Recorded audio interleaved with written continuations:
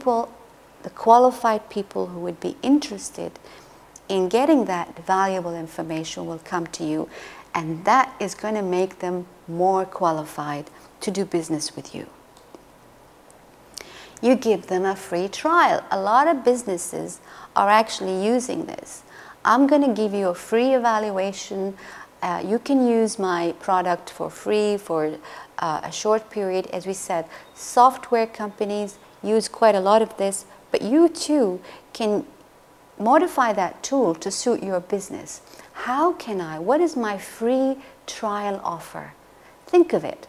What is it that I can offer for free that will get people coming to me rather than me going after them? You think of the free trial uh, product that will get people uh, more qualified to do business with you. Remember the blog? We created little information day in and day out. This week, next week, you have created that blog. You created that content. You can accumulate all of that information which you have spent time and effort into creating. Put it in a book, a short report that people can actually go and download uh, from your website. It's like how to avoid these mistakes in your business. Okay? This is the title of the book. And you actually put that ebook for free for people to download from your website. And this way, for them to get that, they need to put their name, their email, their, uh, their other contact details if you wish. And you then, once you've captured that information, because they were interested in getting that information, you are able to actually connect with them and build that relationship on a continuous basis. The know, like, trust, and try are, it's an ongoing thing. It's not like you do it once and that's it. It has to be persistent and you need to continue to do this over time. Because as we said, the buying trigger may not have taken place. And therefore, when they decide to buy your kind of product and service, you need to be ready uh, with that information to enable them. You need to be keeping in, in the minds of those customers so that they know where to go to to get your kind of information. How to guide. You can also give them tips and information on how to do certain things. All of this free content are, are the, the sort of things that you can provide to ask people, to get people to come to you to get them. And once you got them, then you begin to build that relationship and to engage with them. So, why two step? It takes less space. You're, you're saying to them, come and get this sort of information for you, if you find valuable, this is how what, what you need to do. It just takes less space than the ad that I see these days. They're listing all of their products and services and it doesn't do them very well. They have already wasted their money and people are, they don't know what to do. So it's very important that you actually use the two-step because it, it uses less ad space. It's automated follow-up because in your website, you can create something called the landing page. Uh, if you're not sure about what a landing page is, it's every time people go into your website, it comes in the beginning. And it says, if you're interested in downloading this, this free report, put your email and name and I will send it to you or you can get it automatically on your inbox. Any web designer can do this for you. So you will know the number of people that have actually responded to your ad by getting that information through your website. It's automated. You don't have to chase anyone to get that. It's measurable. You can measure the impact of your ad in different medium. Like today you put it in this newspaper, uh, next day you put it, uh, next week you put it in another. And this way you can measure the effectiveness of your ad over time. You know whether this ad in this particular newspaper getting you a return on investment better than the other one. So you can easily measure the effectiveness of your ad. You get higher response from the usual ads of, of saying come and buy. If you're saying to people come and I'll give you something valuable, you get a higher percentage of response on your ad as opposed to the other types of just come and buy. It's permission based. When I come to get that information or come to that event and register for it online with you and give you my contact details, this way I'm really kind of giving you permission to sell to me, to build a relationship with me. I'm giving you that permission as opposed to someone who's standing behind my back trying to sell me something I, I didn't even ask for that kind of help. What we're trying to do here is to get permission from people so that we begin to establish the relationship and engage with them so that we continue to be um, the kind of source for that kind of product and that kind of service for that particular client. Now, what do you need to produce in terms of um, direct response ad, the anatomy of a direct response ad? You see, the ad, it has to have a single purpose. You don't want to cram all of your products and service in one ad. I have seen it. Honestly, there, I've seen an ad just a few days ago saying that we're, uh, we provide technical support and technologies.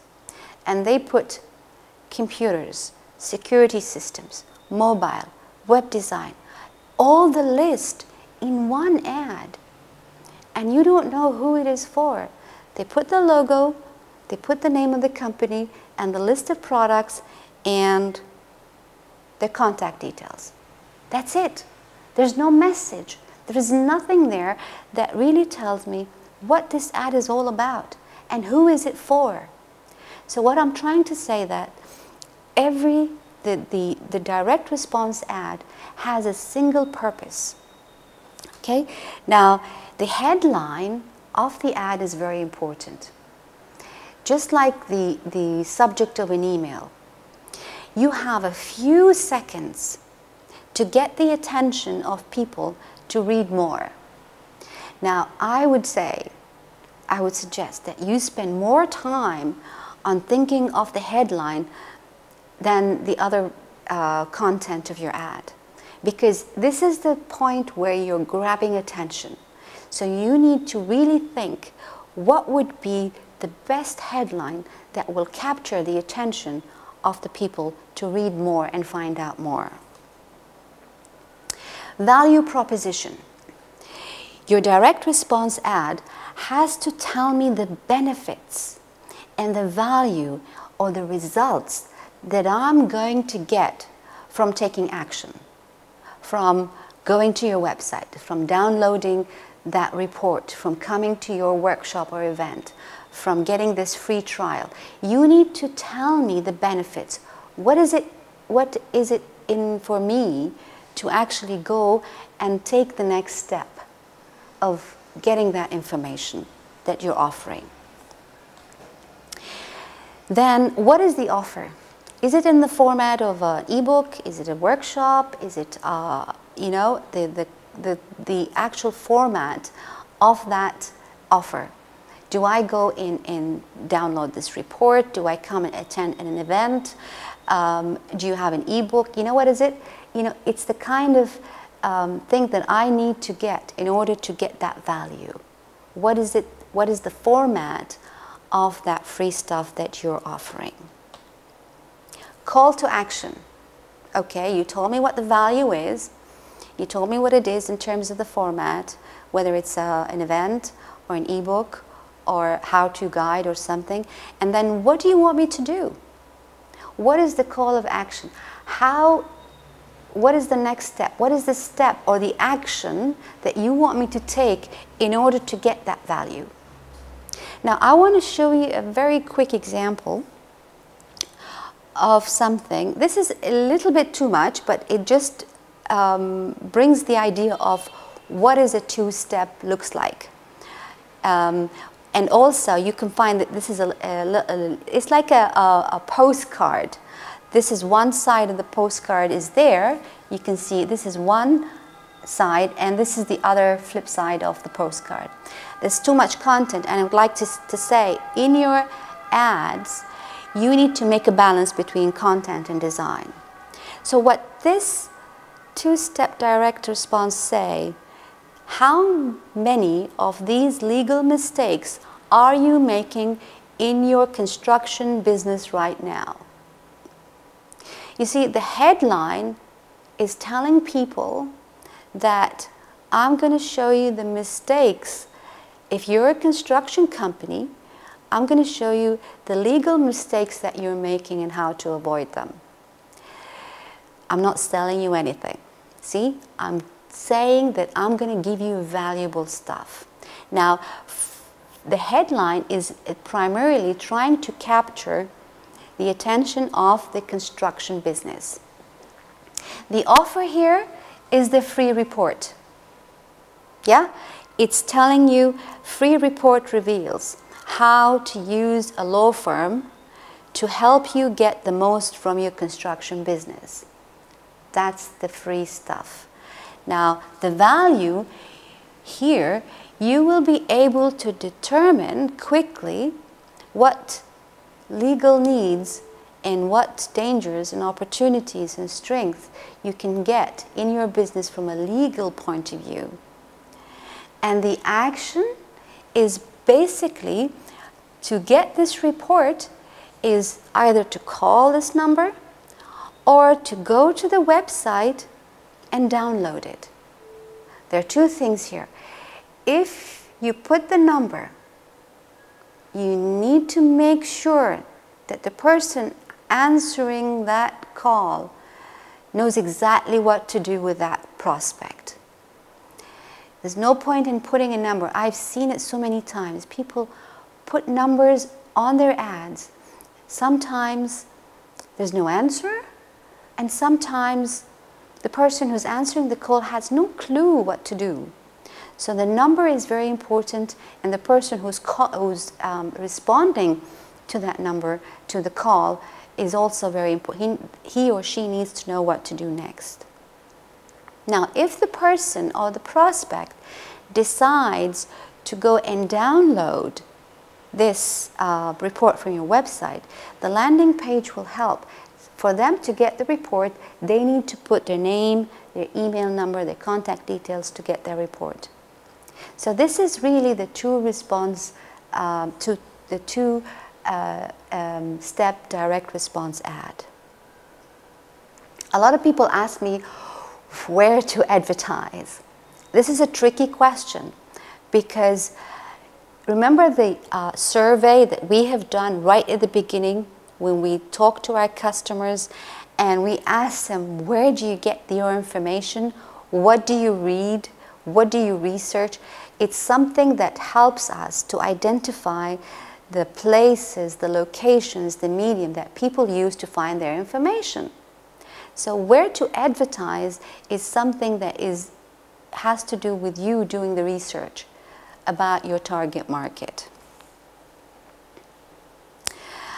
This is a very powerful bit here, small batch direct mail. You know, a lot of people now relying on sending newsletter and emails with their ads. But I still feel, believe that the old ways are still also very effective.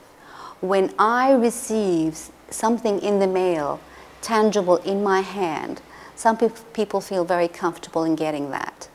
And basically, what you're trying to do with this direct mail, it's sent to a small number.